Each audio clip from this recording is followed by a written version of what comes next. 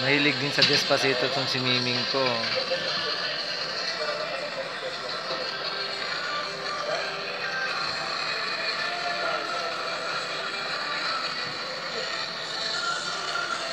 Oh, di ba?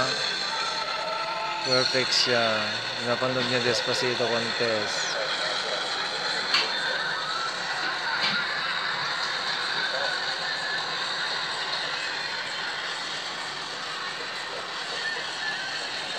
Hindi